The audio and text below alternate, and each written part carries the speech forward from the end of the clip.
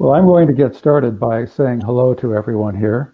We're waiting for Miriam Azarm to make an introduction before we get started in full. But my name is Doug White, and Miriam, do we have you? Can yet? we start? Yes, we can. Please do. now, yes.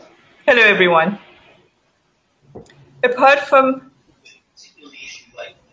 China, I, we have a few technological problems here with um, some of our computers. But anyway, let's start.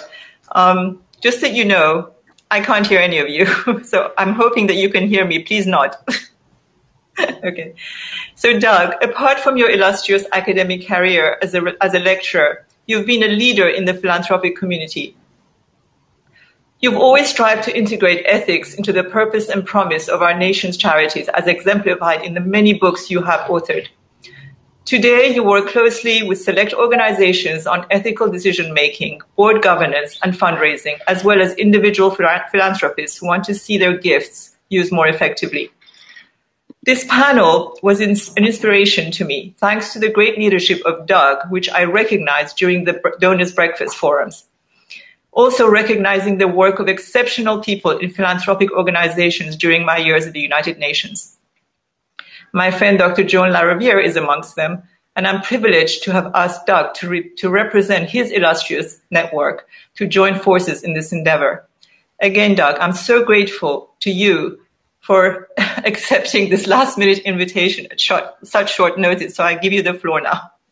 Miriam, thank you so much. It's really good to be here with you and all of our panelists and everyone who's tuning in. This panel is especially important to me because it's about philanthropy. At Horasis, there are so many panels. This is about philanthropy, where we are right now in the world of COVID, and where we are going to go in a post-COVID world, and how we're going to get there.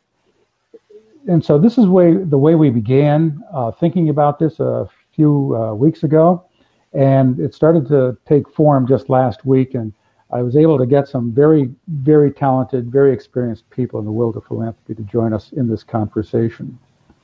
Philanthropy is driven by a very basic human quality, a sense of altruism, a sense that in one way or another is ingrained in each of us. Over the years, philanthropy has grown from general giving to more targeted donations and programs, programs that are now measured for their long-term impact and effectiveness.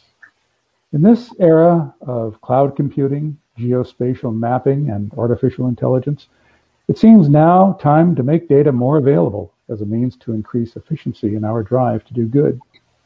That is, the question is, can we better match resources with needs? The idea is this.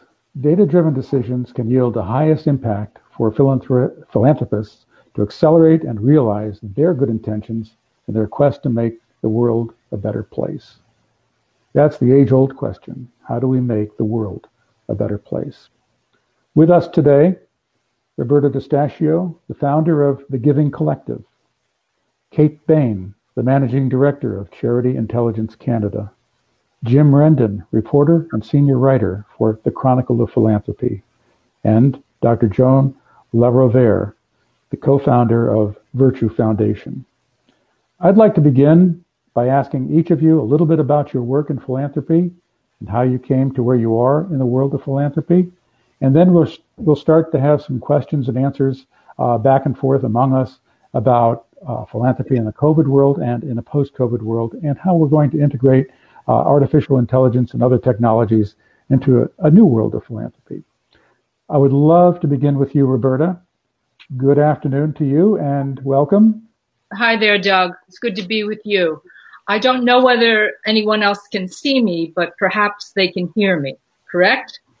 We can hear you. I know that some of our panel can see you and some cannot. So it depends, I guess, on the configuration on the screen for some people. Okay, I will do my best with my voice. Okay.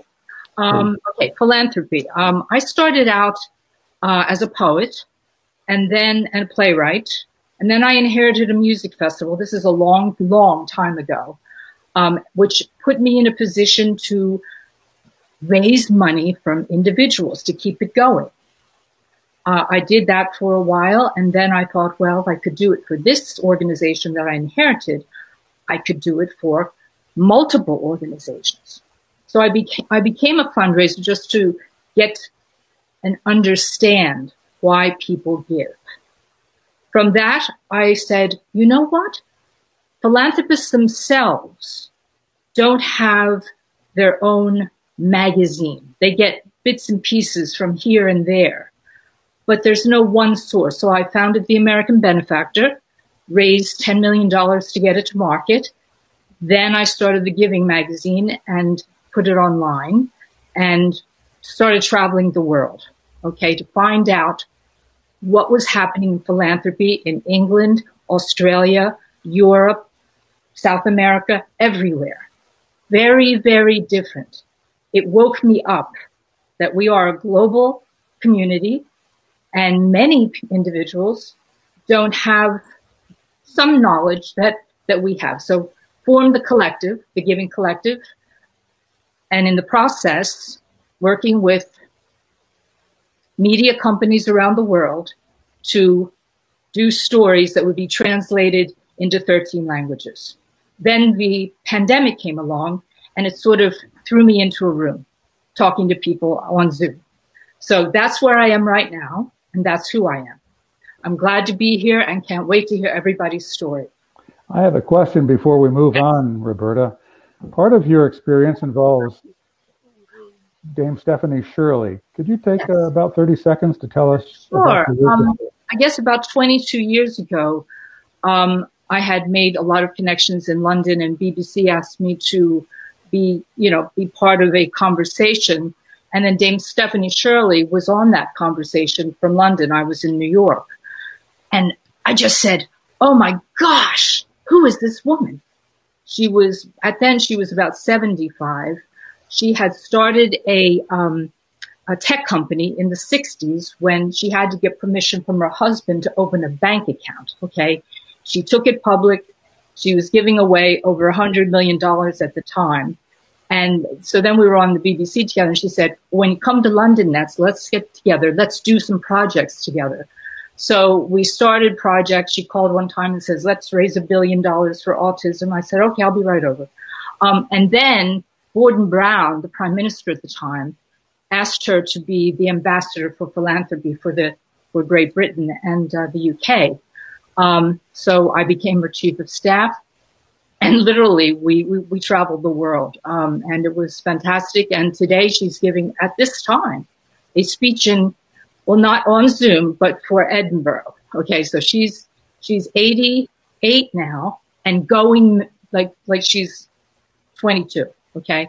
She, and she's fantastic. So she's like a, I guess she's like a mentor, but, but, but also, you know, she wants me to tell her, you know, when she writes something, that's not really good enough. You know, she wants me to tell her the truth. She's fantastic. And I recommend, if you don't know her, Dame Stephanie Shirley. Thank you for that. Uh, we need more uh, philanthropy ambassadors around the world. So that she was a good first one. Yes. Kate, we're going to move on to you. Kate Bahen at Charity Intelligence Canada. Tell us about your background. Hi, Doug. Um, well, Canada is a small country. If you think about all the people in Canada, we don't even add up to the population of California. So when it comes to the podium, Canadians are never going to be the biggest givers in the world. So with that, we sort of thought, rather than being the biggest, how can we be the best givers in the world? How can what we afford to give how can we make sure that our giving does the most good possible? And that's where Charity Intelligence was founded back in 2007. And we do research and analysis on charities, and we measure impact, and we run a website. So I know that many philanthropists will um, will, will have in-house research and analysis and impact measurement. But we're like the outhouse. We just put all of our information online. So it's accessible to a donor who's maybe giving $100 or $1,000. So that, that sort of smaller donor. So you can sort of think of that like a Ford versus Ferrari. We're going with, with the Model T Ford model. And this, this discussion today is critical because with COVID, we're going to be seeing individual giving collapsing by about 25 to 35 percent. When people lose their jobs, you know, at the end of the at the end of the day, giving is a discretionary item. So there's going to be a, a reckoning in the charitable sector on that. So today, more than ever, donors need to use data, need to use evidence-based um, information to make informed giving decisions. That's going to have the biggest impact. It sounds a little bit like you're doing the kind of work that organizations here in the United States do to evaluate charities. Would you call yourself a charity evaluator, or is it more than that? No, absolutely. So, in, in the States, being such a big country, uh, Americans have Charity Navigator with its star ratings and Charity Watch with its deep dive on uh, financial analysis, and also GiveWell on the West Coast in San Francisco doing impact measurement and its top 10 lists. So, in Canada, with sort of the sort of three in one stop, uh, at Charity Intelligence, we'd have the star ratings on over 780 charities, most of the big name household brand names, but about 25% would be small cap. We do the financial analysis on all charities using audited financial statements. And then we do the impact measurement as well.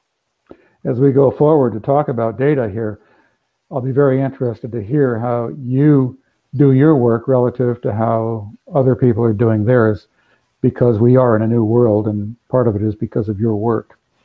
Jim, you are from the Chronicle of Philanthropy, a writer, a senior writer there. I've known the Chronicle for 30 plus years. It's basically the go to for nonprofit leaders here in the United States and in many parts of the world. Welcome and tell us a little bit about your work at the Chronicle and with philanthropy. Great. Thanks, Doug. Um, yeah, so I've been at the Chronicle for uh, about a year and a half, a little bit more. Um, I cover leadership. I cover racial equity, which has been a huge issue here in the U.S. Um, in the nonprofit sector. Um, I write accountability stories. We have a whole series we're doing, kind of looking at philanthropic big bets and, and going back and trying to evaluate and, and see how those are panning out and what lessons might be learned. That's sort of a new project we're just getting going.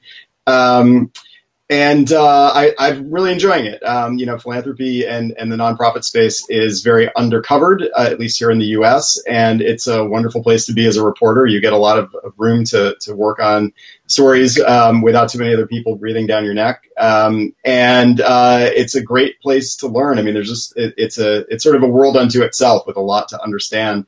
Um, prior to coming to um, Chronicle Philanthropy, I was a freelance writer for about 10 years. I wrote for the New York Times Magazine and the New York Times, uh, Fortune, um, Wall Street Journal, Marie Claire. I did a lot of long form writing. Um, I wrote two books, um, one of which was is about um, trauma and positive change. It's called it's about post traumatic growth. So it's looking at the sort of suffering that people go through as a result of trauma and how that forces a, a kind of reckoning and, and reimagining of one's life and future and, and how people want to move forward. And actually, in doing that book, I spoke to um, uh, many, many people who went through traumatic experience and founded nonprofit organizations. And I've been um, very interested to see as I do this work how many groups were funded out of a personal traumatic experience. So there are very interesting ties between some of the areas I've done a lot of research on in psychology and uh, the nonprofit space. For example, Mothers Against Drunk Driving, that kind of organization? Yes, exactly. As a woman who lost her child to a drunk driver, who then went on to found an advocacy group. Um, you know, I've reported on uh, cancer, a young adult cancer survivor uh, who had cancer twice in her early 20s, who went on to found a group to help um, young adult cancer uh, patients with expenses. Um, you know, uh, um, other folks who have founded nonprofits that um, you know do a lot of work with veterans and and um, global um, uh, hunger and poverty, a, a, whole range of issues that people will find that they are um, really wanting to help with. And a big part of post traumatic growth is is a move towards altruism, and you really see that through through many of these folks. I can't imagine a more fitting way to frame this conversation than the words you've just used: trauma and challenge and opportunity and altruism. There's a through line there Let's go to that through line in part by going to Joan, Joan LaRovere, who comes to us from Boston. She's the co-founder of Virtue Foundation and also is at Boston's Children's Hospital. And so when we say Dr. LaRovere, we mean medical doctor. Welcome to our group today.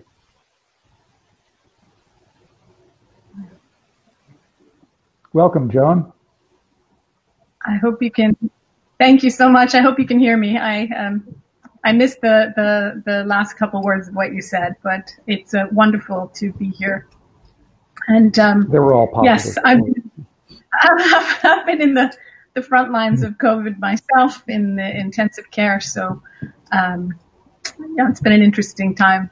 I guess to just to carry on from those words of sort of major events and, and bringing forth altruism. I that that's where Virtue Foundation came from, is out of the events of 9/11. I mean, another major time for our, our country here in the United States. And uh, the name came from those basic human virtues that you saw really in people in, in New York and across the country as a response to those times. So I, I agree that I think this, this time of COVID is going to change so much in ways we can't imagine for our world going forward from, from here. And um, God willing, we see more of the altruism and the goodness in people and in the philanthropic space coming out of it. I appreciate your emphasizing the word altruism. Mm-hmm. I always try to find that in donors, and it's always there. It comes in different forms. Um, but we also, on top of altruism, or parallel to that feeling of doing good things for other people, uh, we want to be intelligent about that. And uh, the world has changed in the last few years, last few decades at, at least. And I've seen more and more philanthropists who are interested in how their work is being measured and how charities do that work and what kind of outcomes those charities can be responsible for. Tell us a little bit about what the Virtue Foundation's perspective is on that particular issue. Uh, yes, it's an honor to to speak about that. Um, for my personal um, philanthropy, it, it's really born of my profession in healthcare and a lot of on the ground work and medical missions around the globe. Uh, the foundation works in other areas in education and empowerment, both access to justice, justice and economic empowerment. But I want to focus on the healthcare piece today. And um, one of my colleagues and partners, Dr. Ebby Elahi, had the, really this brilliant idea as we were going on all of these um, trips and working. Why can't we have better access to information on the ground ahead of um, going on site? And why can't we make that more available to others in the world? particularly as we've moved into this era of cloud computing, AI, machine learning. And it's taken us about 10 years to get from that idea to a platform that's launching with a book on December 1st. Um, it's, it's hard work trying to gather information and data on the ground in low and middle income countries and then try to present that geospatially and what we have tried to do is, as a, a, first layer of this platform, is to identify all of the hospitals and major healthcare centers, in, to start with in 24 low-income countries, as well as all of the healthcare NGOs working in that space. And I think we have probably the largest and most curated list because it's all been pulled through machine learning and AI and then curated by senior clinicians and others with expertise in the field to really try to do our best in validating those organizations. And I think being able to have access to that information is vital.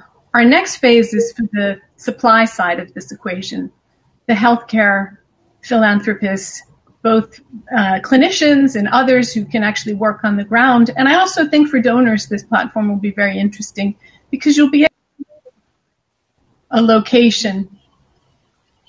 I think we lost you for a second there, but you're back on, so go right ahead. Uh, you will be able to target to a location and an area you're particularly interested in, whether that's eye care or cardiac surgery or um, fistula repair or safe delivery. And you can see who is doing good work on the ground and where they're doing it. I'm going to ask the other panelists uh, about how their experiences would meld in with what you're saying. But let me further ask you a question about AI. Can you give us a specific example of how AI or donor mapping can help us in the world of coronavirus? Is there something that we can say, this is what philanthropy is doing? I can give you an example from. Go ahead. I can give you an example from myself. Um, we have a, a, a deep map of Ghana and the north of Ghana has had terrible problems with under five mortality and um, very poor access to ventilators or oxygen. And we were able to take this data and be able to look on the ground. And from my ICU in Boston, I would be via WhatsApp communicating with the district health director, the hospital directors, and clinicians on the ground and getting oxygen in place into the health centers to get a better ventilation program up in their district hospital. So we're able to use real time data and be able to work with both ourselves and some partner organizations on the ground to implement based on knowing where, where things are located and where the need is. A tangible perspective there. Thank you for and that. And they were able, really be able to get ahead of the. Yeah. Super. Let me let me go back now and ask some of the other panelists uh, to react to what you've just said.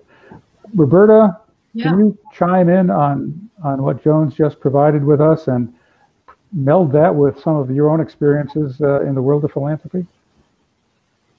I think her story and what she's created with her team is very unique. I don't, I'm not quite sure it can be compared, Doug. I mean, I'm really sitting here listening as we were yesterday. Um, and I find it extremely exciting and interesting and think that the more her story gets out, again, we have, the story has to get out, the more, especially on the tech side, I'm not going to rule other people out at all, but there's going to be heavy excitement here. Okay.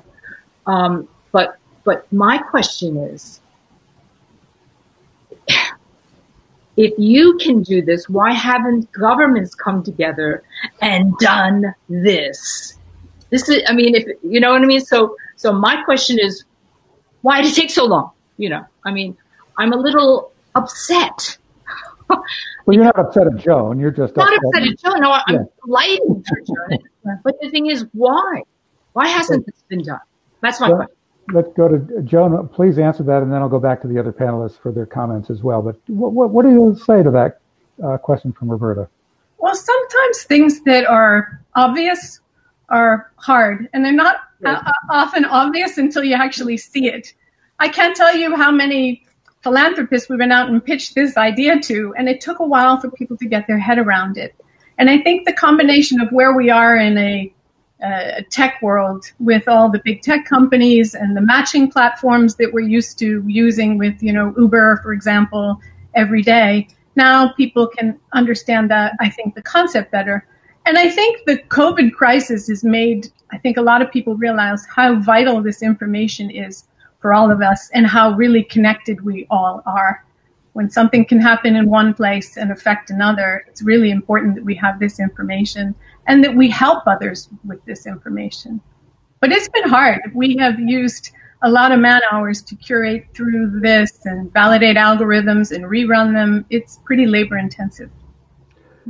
Thank you for that. Uh, Jim or Kate, let me go to you, Jim, and ask you first. Um, you're on the ground talking to charities. You wrote a, a fairly long piece this past week on uh, in the Chronicle about how charities are changing uh, in response to coronavirus. What what's your response to what Joan is saying, and bring some perspective as to how you, what you've learned with the people you've Yeah, I mean, I think it's it's a fantastic project. I mean, I, I, I love it. it. It sounds like it's really filling a need and has a real potential to um, just boost the effectiveness of of health efforts uh, across many many countries. Um, you know, I would say that from what I'm seeing here in the U.S. Um, there's a real technology gap for nonprofits. Um, you know, I'm actually working on a piece now and and looking at some data from a few different organizations that are surveying. And you know, one of them, an organization called Hope Lab, just did a survey. They found that Um, 75% of the groups they surveyed said that they did not have any funders that would fund technology for them. Um, a similar percentage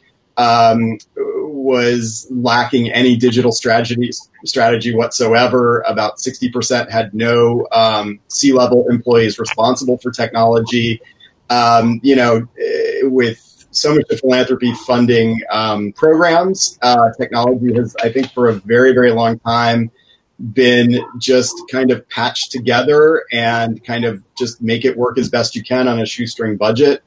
And um, it's a real hole. And I think it's one that, frankly, the COVID crisis really brought to the forefront. You know, basically within a week, everybody was kicked out of their offices had to close their doors. And all of a sudden to figure out how to work from home with each other and provide services virtually and do a million things in a completely different way, relying almost entirely on digital technology. And um, it really highlighted gaps for a lot of organizations. I think there are also um, questions around racial equity. You know, our reporting um, on lots of surveys and, and other great research by other organizations really shows that um, organizations that serve people of color, organizations led by people of color, have fewer resources than those led by white people. And technology costs money, and they are not often able to have the kind of technological resources and digital strategy and the space and time to really do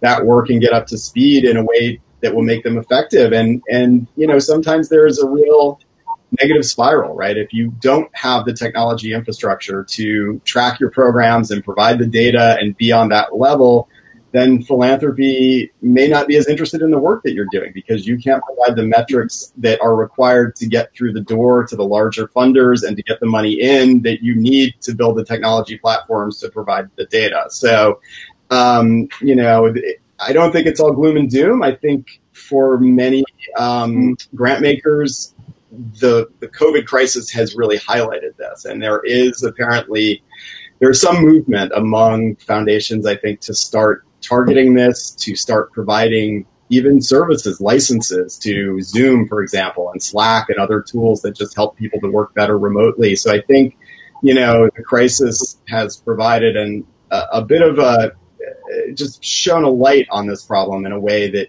we haven't really seen before. And I think that there is um, you know, some responsiveness and some sense of, of sort of really seeing this and understanding that something needs to be done. So maybe we're at a bit of a turning point for that as well. I don't know if you could have teed it up any better for the question I'm going to ask or will ask of Kate. But before I do, Joan, do you have a comment back to Jim from what he's just said?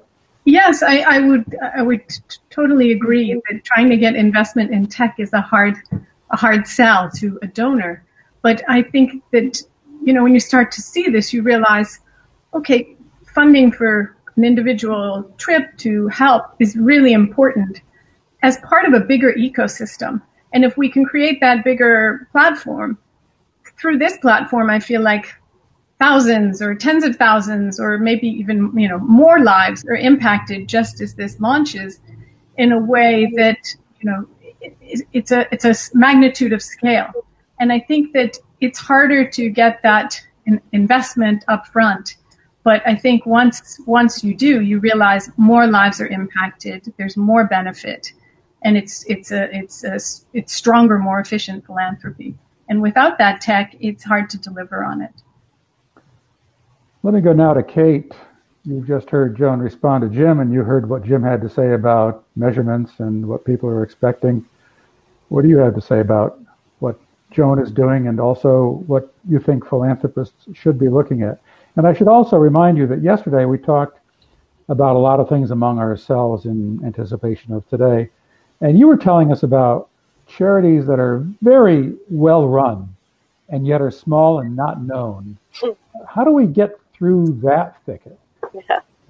I was going to say that, I mean, with, with, with COVID, and let's just be honest, maybe the whole philanthropy sector got a little bit frothy before this, you know, sharp, abrupt COVID crash.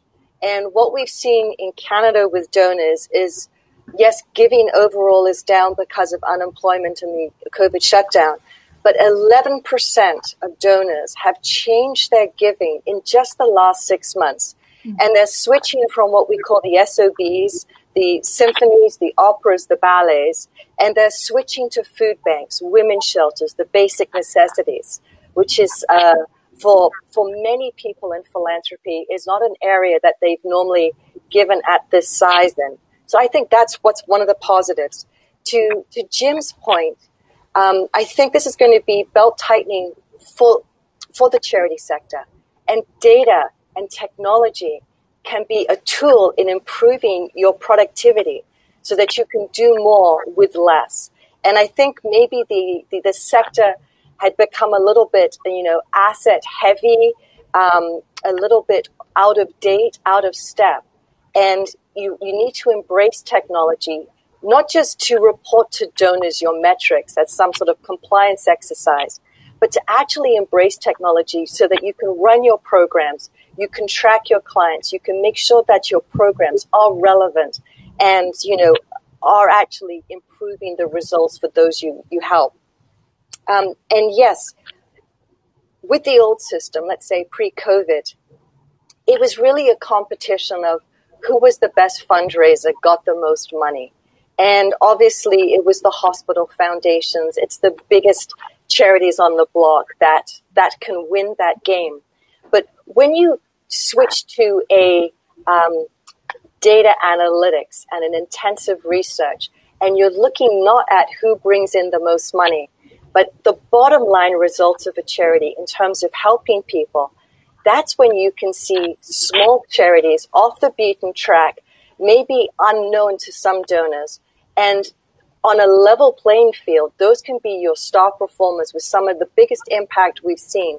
So I recognize that there's a pushback to data, and I recognize that many people aren't comfortable about using research and you know hard facts to make what is typically an emotional decision. But when you make that transformation, um, we just have donors who are funding charities that they've never heard of before, and just like I didn't know this even existed and what a sensational charity this is. So, one of the great joys is to see small charities um, come to the attention of some of the biggest foundations and watch their growth as they grow. I'm glad you put it that way, Kate, because I see you and Joan here on a, on a, on a plane, and I'm going to ask Roberta to jump in with a comment about the role data analytics plays in the context of what you just said a moment ago our altruism is driven by our emotions, by our heartstrings. And we can look at a spreadsheet and not feel the same heartstring being pulled. So, Roberta, do you have a response to, to the question or the idea that uh, analytics is uh, becoming more and more in the forefront of our philanthropic decision making? Uh, it's a big question and not a and it's not a and it's a large answer. Um, every individual is, is different. Okay, um, some people might you know feel good about learning more about technology within organizations and how the technology helps that organization move forward, etc. But others would have no interest at all okay, in, in the technology. Um, that's that's it. Just depends on individuals and their own and their own interests. So I, I guess I'm, you know, I, I don't think you. I think the future holds that yes, because so many people use technology that they will want to read the data. But in the end, it, the some emotion or mindset will drive that person to that particular organization. Okay. Um, there's what six or seven organized organizations, nonprofits around the world, meaningful groups around the world, another 10 million, you know, that are not organized as nonprofits. There's, there's just so much uh, that I think, yes, the technology and what the doctor is doing, fantastic and uh, she should have funds coming in without even asking. If you know people that I know uh, would be, I'm in. You know, would would love what she's doing, but um, it's just such a big question that I can't answer it. Sorry. I understand, and it's an unfair question with just a few moments left, and it's not quite the right format. But I wanted to hear your view on this because you always have good, interesting perspectives on things. I'm hearing this to be, I hear a couple of things emerging here. One is that during the coronavirus, we have a big project that many charities around the world are trying to attack from their different perspectives. But I'm also hearing that this idea, more generically, is one that's going to outlive the coronavirus in the United States and in the world, and that we're still going to need to, to do the work that Joan is describing. And I said that in the third person, Joan, because you disappeared on me for just a second. There you are. Okay. And so, um, in the last few minutes here, I'd love to have everybody just weigh in for maybe uh, 45 seconds or so. And I'll start with you, Joan. Uh, is this too big for, for foundations or charities, or does there need to be more of a, a handshake with, with government and business? in terms of um, building a platform like this? Yes, yes. Not a, I know that we can't solve the coronavirus or the COVID question all alone, but I mean in terms of the platform and what you're trying to accomplish from a, a process perspective. I think that this is a process perspective we're going to see more of, and and we we should do. Um, I, I just can't see us not going in this direction of being able to have more geospatial information, real time, granular, so that you can see what's happening at, a country level. And I think for NGOs, this is a wonderful opportunity because all of their work is showcased. It's not one organization or another. And you can see where they are and what they're doing and connect with it because altruism at the end of the day is deeply personal. But um, this will, I think, allow somebody to use their altruism in a way that's meaningful for them based on real information in real locations. And I think it allows some of these smaller organizations that are doing tremendous focused work in a particular area to be showcased. I personally have learned so much about so many other organizations that I hope Virtue Foundation will be partnering with because I can see how we could amplify our work by collaborating with them. I would not know have known about them. There's no single place to go to find me, type of information. Let me ask you this though. Roberta just said something that was very interesting. Um, are you uh, able to raise money without asking for it? well, from your lips to God's ears. I suspect really would like to find mm-hmm. uh, a big donor who would like to help us take this on to other other layers from here. I, I think this publication with Taylor and Francis in uh, first of December and the release online live of the platform, I think okay. is going to be a real turning point for others to really see the level of the work that we've done. Now, in the last minute, and I mean that, Kate, any last thought? Well, I'm not a very big fan of government design software, so I uh, we've we, have we have got some of that up here in Canada, where our government does a lot, and uh, I actually much prefer using Apple products or Google products when it comes to those types of things. Um, I, I just I'm excited. This is the information age, and this is just just the beginning.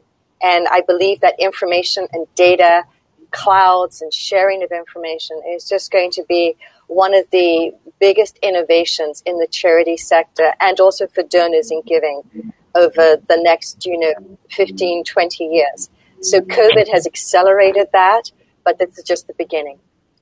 Thank you. And 10 seconds, Jim. Yeah, um, very quickly, I, I, think it would be fantastic. I think it just requires a shift in how grant makers think about what the needs are at nonprofit organizations, and really just to focus on helping them with um, with their tech. Thank you, Jim, Roberta, Kate, and Dr. Joan. I appreciate it. I think we've had a great time. I wish we had more. Have a good day, and thank everyone who has joined us today. Thanks so much. Thank you, Deb. Bye.